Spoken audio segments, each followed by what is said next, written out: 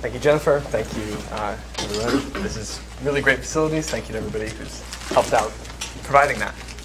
Uh, so this past week, uh, there was a really funny story that was relayed first to me by uh, a senior faculty member in our department, and then later by my wife.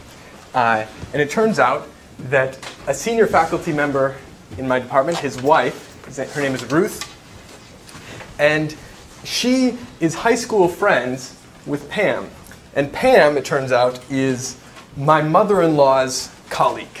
Okay, so I know both of these people, but they're not from the same community, right? These are entirely different worlds uh, of my life, right? One is kind of professional, the other one is personal. Uh, and these women are, you know, probably 60 years old, 70 years old maybe, and it turns out that they, they know each other. Right? That's really surprising right? That there's a triangle like this, because we're not all in the same community together.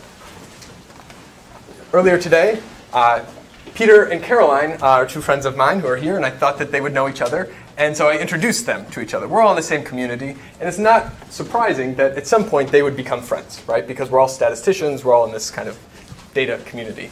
And what I'm going to talk about today is this, uh, the importance of triangles in detecting communities. How it's really surprising to see a triangle among nodes that are not in the same community, but entirely expected that you do see them in, in for people in the same community. Um, and, and this is uh, what we'll call the blessing of transitivity. Before we get there, I'm going to be a little bit pedantic, and I apologize for that. Um, step back even further back than networks and say that historically, I think the overriding academic achievement of statisticians is to provide a framework for making rigorous inferences uh, about the world. And so kind of a toy picture is that you have the world, there's some, something, some question that you have about the world that you would like to answer. So you do an experiment, you somehow collect data, and you get this raw data, right? This raw data is a simplification of the real world. Then you do some data analysis, you further simplify this raw data, you get some summary statistics, parameter estimates, visualizations, right? Another step of, step of simplification. And at the end of the day, what we want to do is inference. What we want to do is say something about the world, right? So there's these two steps of simplification, and then we, we want to step up. And the only way that we can do this is with a statistical model.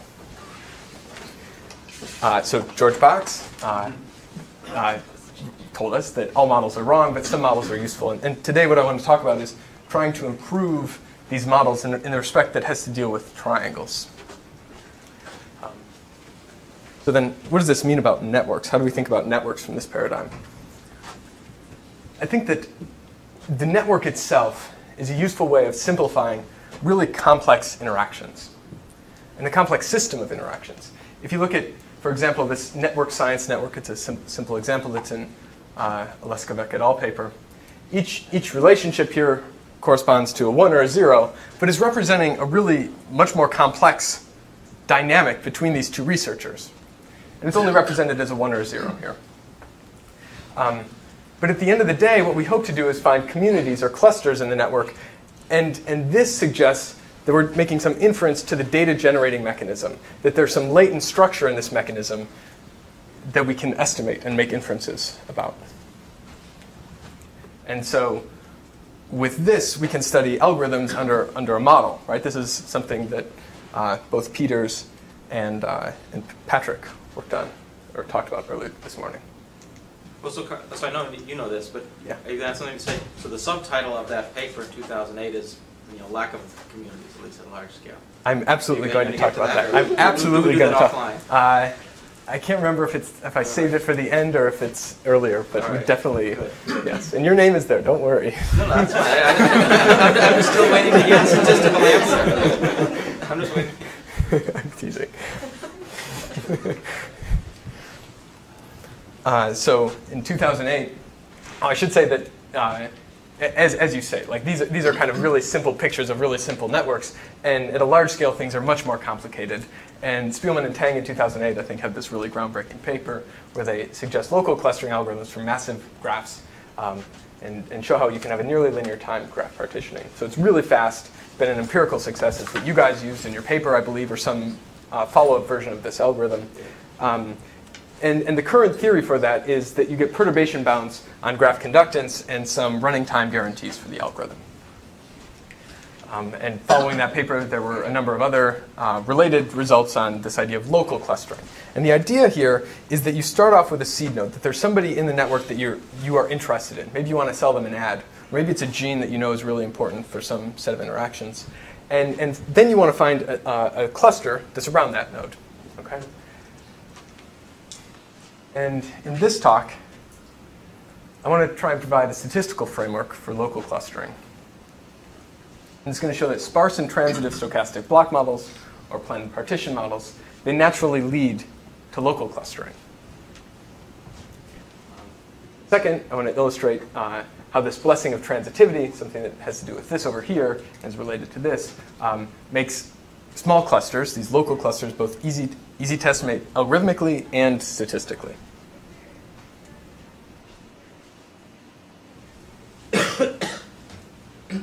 And some of what I'm going to say is, is going to apply in the more general exchangeable random graph setting that the previous speakers have spoke about. But I think this kind of toy version of the model is, is a little bit easier to talk about. Uh, and it's, it's the planted partition model, um, where K is the number of blocks, this is the number of groups. S is the population of each block, so we assume that uh, we're conditioning on, on the latent variables, if you will. And each block has equal population, S. R is the probability of an out-of-block connection, the probability that an edge crosses a boundary of a block. And P is the probability of an in-block connection. Okay, so just a sanity check, N, the number of nodes is equal to K times S. And we're going, I'm going to assume that R, uh, probability of an out-of-block connection is less than P, just to make the communities that are kind of dense. And so here's a picture of the of a, an adjacency matrix from the more general stochastic block model. Of course, you don't see any structure. The aim is to estimate the partition such that you then see these blocks, right? And, and uh, so, so what we're trying to do here in this literature is estimate the partition of the nodes. Um, and this partition, I'm going to refer to it as Z. This, I think that this started in the IEEE community. Somebody's uh, feel free to correct me if I'm wrong with that, uh, maybe with McSherry's paper in 2001, Spectral Partitioning of Random Graphs, um, later in 2004, and there were kind of a trickle of papers after that. And then in the last four years, there's just been an explosion of this literature, um, which uh, uh, we've been a part of in, in some other, in other works, along with Peter Bickel and uh, Patrick Wolfe, uh, and, and many others. So this is only a small subset of, of those papers where you have a stochastic block model, you sample it, you have some algorithm, and you want to show that you can estimate the partition.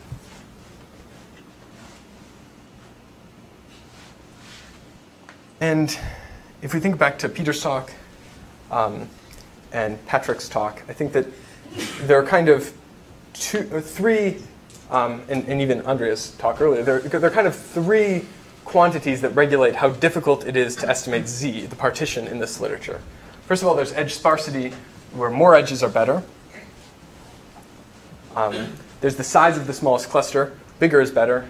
And then there's the difference between this in-block and out-of-block probabilities, right? If this is too close together, then uh, it becomes exceedingly hard. If they're equal, then it's completely unidentifiable.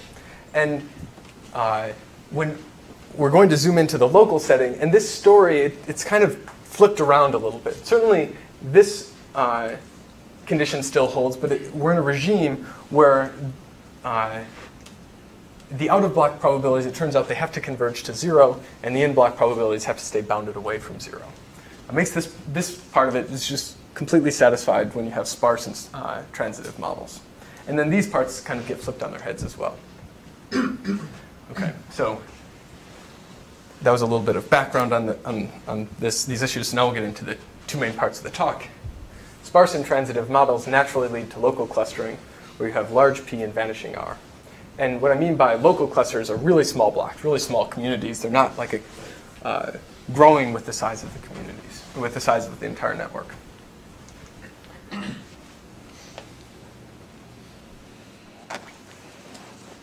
So we've heard a lot about uh, sparsity in graphs where the number of actual edges in a network is a very small fraction of the number of possible edges, right? And so the average node degree in most networks is maybe between 10 and 100, even in really massive graphs. Uh, and and, and moreover, this is something that we haven't really talked about today. Most empirical networks, in whether it's web or social, um, have many more triangles than we might otherwise expect. You, you get a lot of this type, this type of structure. And so we're going to want to make a model that has both of these features, right? Uh, and, and when we do that, well, I'll show you what happens. Um, so here's again transitivity. If, you have, if you're friends of friends, then it's very likely that you become friends, right?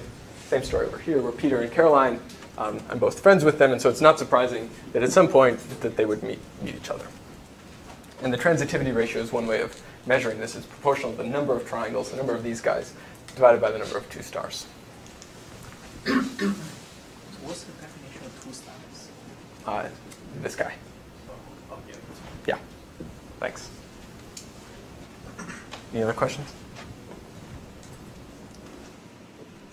So under the planted partition model, where we're assuming that R is less than P, so in-block probabilities are higher than out-of-block probabilities. If P goes to zero, then you remove transitivity. Um, so since transitivity is something that we want in our network, we can't let P go to zero. And this holds more generally in the exchangeable random graph model, where if, if, you're allowed to maximize over the latent variables, if that maximum probability, the maximum probability over all pairs of latent variables, if this thing goes to zero, you remove transitivity in your network. Um, and so you, don't want these maximum probabilities to go to zero. This is kind of what happens when you do the, the um, dividing by rho n or something like that. Um, anyway, so if, if p is bounded from below, then the block size cannot grow faster than the expected degree. So these two things, they're basically just kind of like accounting. They're not uh, so they're not so difficult, but I think that they're really informative in how we think about the types of models that we should consider and the asymptotic regimes that make sense to be most applicable to real data. Okay, so this is just saying, saying what I said here. So um, So this is the first part of the blessing of transitivity. In the planted partition model, this model with four parameters, it's a type of stochastic block model, with bounded expected degree. So now, before we were talking about degree growing like log n or faster than log n or polynomial in n. Here, uh, we're just going to keep it bounded. Okay, so expected degree does not grow. Uh, transitivity then implies that p, the in-block probability, is bounded below. R is of order 1 over n, and S this is the size of each block, remember. It's bounded. Okay, so you can't, you don't get really big blocks. So think back to the, the previous results that have to do with global results, global clustering results, where you have a, a stochastic block model and you want to estimate z. Uh, these uh, results require growing degrees and growing blocks. The size of each block needs to grow. And what we want to do here is study bounded degrees and bounded blocks. And the thing that makes this possible is that r is going to 0 while p is staying fixed. Remember that third condition, how close these probabilities can come, uh, it gets dramatically wider asymptotically. Um, and so here's really the important part of this blessing is that it, it doesn't necessarily make the bad edges disappear. The out-of-block edges can still be common, order, order n. But out-of-block triangles are unlikely. These types of triangles, right here, between Ruth, Pam, and myself. This is the wife of a faculty member in my department, and this is my mother-in-law's friend. The probability that they're, they're friends is, of course, really unlikely. Um, and you don't see many triangles like this in, uh, in, this, in this model, in this planted partition model. On the other hand, in-block triangles are very common. Right? So triangles like this, where we're all statisticians, you see a lot of these things in this model. Uh, and so we look at triangles here for computational purposes, but you could look at four cliques and you might get slightly better rates here.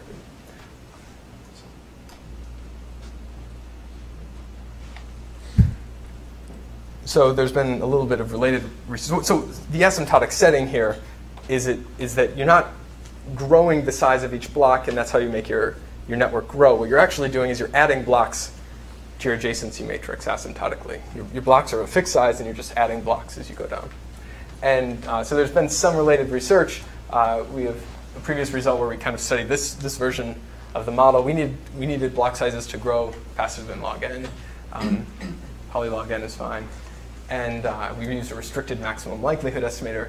Uh, Verzelen and uh, Arias Castro, uh, more recently, have framed this as a hypothesis testing question where you have a massive sparse Erdős-Rényi graph near the Poisson limit, um, and there's a hidden block somewhere that's growing faster than log n. It's kind of similar problem to what Andrea is talking about. And I'm not, maybe your asymptotic setting applies here and I should be citing it. Um, I, I, need to check the citation. Um, but in this regime, the number of triangles is a, is a powerful test statistic. Okay, so here we, we kind of assume that every node is in a block, and here there's maybe one block, and you want to test whether there is one block that's very small. Okay, so here's, is this the plot that you wanted, Michael? Well, it's, it's, what I was referring to. I, I want to know how the statistical method will map to that. Good, yeah. okay. So empirical networks contain small communities, right? So I just kind of said if you have transitivity and sparsity under this model, then you get small communities. And kind of it's, it's satisfying that we actually see this in, in real networks where uh, uh, Leskovec, Lang, Dasgupta, and Mahoney uh, in 2008, they kind, of, they kind of had this tour de force where they look at all these sorts of networks. And uh, the communities with the smallest conductance are no larger than 100 nodes, even in really big graphs. So you always get these nice, tight clusters. And um, I think that transitivity, what, the previous slide suggests, is that transitivity plays a key role in this, and we should use the triangles to try and discover these local clusters. This relates to uh, some work of Sahesh, who's here somewhere, uh, where they have more perturbation results where they try and break up a graph, or they show that you can break up a graph into, uh, into dense re uh, regions with dense triangles. So does the model that you're describing, I mean, is, does it have enough randomness that it's going to be an expander at large size scales? Or does it damage the local structure on that plot? Or how does it relate to this plot, do you know? Uh, so it doesn't have the properties that you want. Uh, but that was just a toy model. What I'm actually going to suggest is actually maybe it might actually be a little bit more satisfying. Um, uh, and we'll do that in the second part here. Okay, five minutes. Transitivity makes these uh, small clusters easy to estimate, both statistically and algorithmically. And we're going to study this under a semi-parametric model, and I'll explain what that means. So we started off talking about local algorithms. Then we forgot, forgot local algorithms. We used stochastic block model sparsity and transitivity to get a model with small blocks, right? And in the last section, we're going to combine these two threads. We're going to propose a local clustering algorithm that looks for triangles. And then we're going to study the estimation performance of this algorithm under a local stochastic block model that has a semi-parametric, uh, that allows, basically you have a, a local block that we're assuming is a block model. And then you have a hairball of a network down there and you let the hairball of the network grow to infinity, and, uh, and your block stays fixed. That's kind of the um, picture that we have. So I said that we're going to study local algorithms. Uh, in fact, there's a global version of our algorithm, which is easier to state, I think, uh, than the local version. And uh, this finds it for all seed nodes with all tuning parameters. There's one tuning parameter. Um, so define, uh, this is maybe referred to as the regularized graph Laplacian. And uh, so you could think of it like the adjacency matrix at first, if you like. And you compute, uh, if this is the adjacency matrix, A times A, matrix multiplied, element-wise product times A. And so what this is, if it's A, is the number of triangles that contain edge ij. Uh, and so you can think of this as a weighted graph, and you run single linkage hierarchical clustering on it. You find the maximum spanning tree, which for the statisticians in the room, if you can ever phrase your problem as maximum spanning tree, do it because it's so fast. This algorithm is so lightning fast. Thank you to the computer scientists in the room that make that so fast. Uh, uh, and so this thing, as I said, is called the regularized graph Laplacian. It was proposed uh, by uh, these authors in 2012. Um, Amini Chen, Bickel, and Levina had a similar version, uh, very similar though. Uh, and if you're interested in how to choose tuning parameter tau, we have a NIPS paper uh, which suggests that the average degree is, is kind of a, we have some analytical results which suggest that's kind of a good thing. Okay, so the local version of the algorithm, here's, here's a quick go at it. Um, and we're going to do it in a really simplified case where we're going to initialize uh, with Jennifer, she's our seed node, and what you do is you look at all of Jennifer's friendships, or all the friendships that cross the edge boundary, and you say, is this edge in a triangle? So this one is not in a triangle. This one, the 80 is, right? And so, uh, and all of these other ones are in triangles. So in the next step, you add uh, any edge that, uh, that's in this triangle, so you get this block. Then you iterate again, where you look at all of the edges coming from these people, and you stop when you have no edges that leave the cluster that are in a triangle. Okay, that's kind of the simple version of the algorithm. you can make the number of necessary triangles kind of a tuning parameter. And with the graph Laplacian, you make it, uh, you weight them, weight the degrees of the nodes, which is kind of a nice thing. Okay. This is what I just said. Okay. So now we want to study the performance of this algorithm under a statistical model. And since the local version of this algorithm, it only searches locally, right? We search from Jennifer and then we just go out.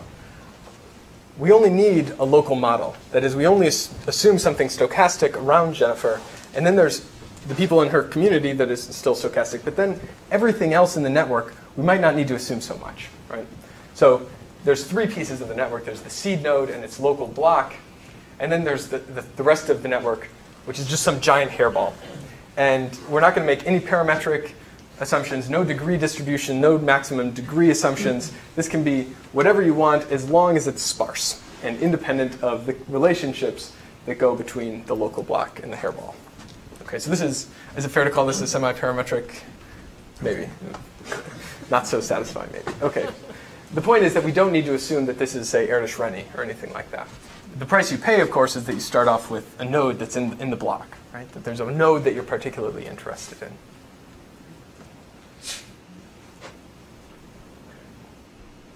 So then there's two versions of this model. The first one is not degree corrected. The second one is. Uh, and you can use the adjacency matrix when it's not degree corrected, but you need to use L, the Laplacian, when it is degree corrected.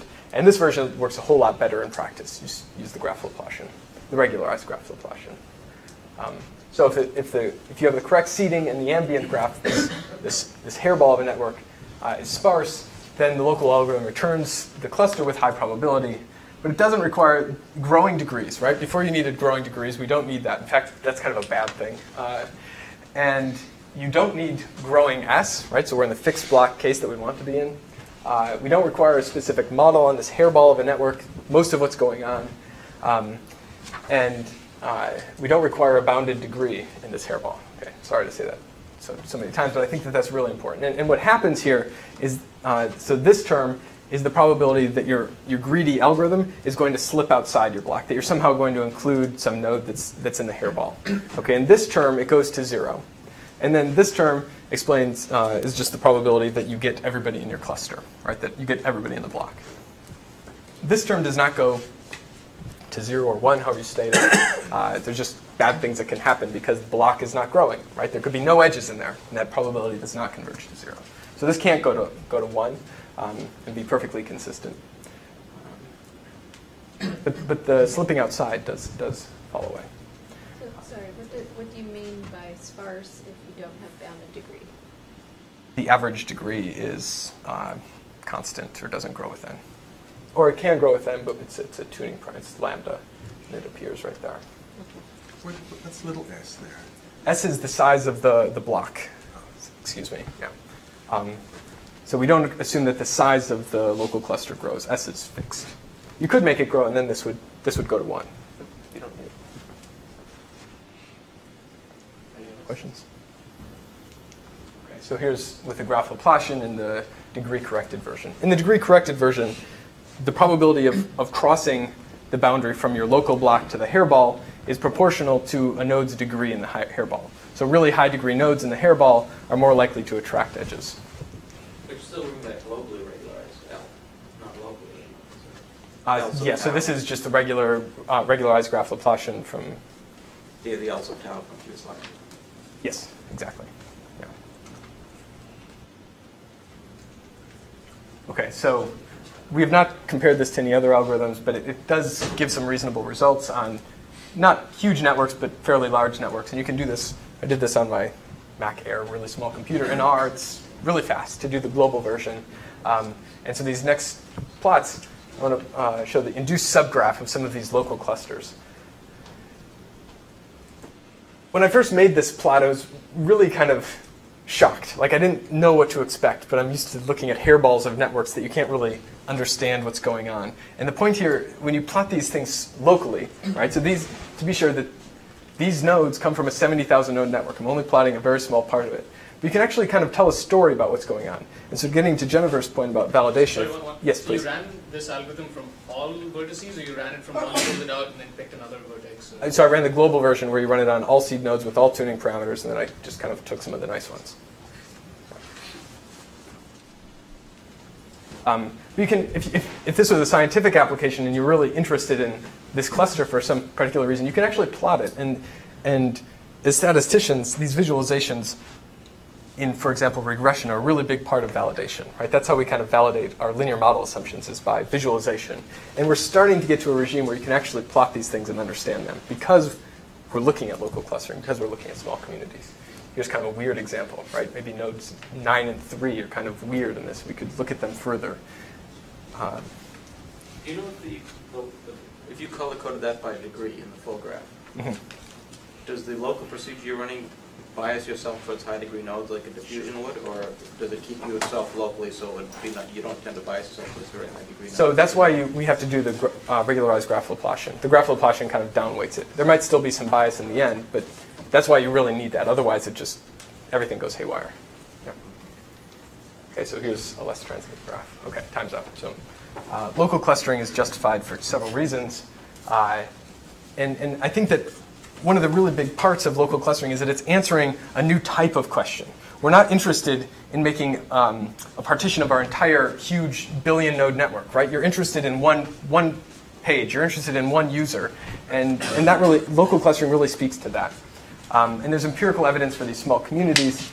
Computation, visualization, interpretation, diagnostics, they all improve. Uh, uh, okay, so uh, finally, the blessing of transitivity, this idea that you have triangles in clusters but are very unlikely outside of clusters, um, allows for these fast algorithms and, and semi-parametric results in networks.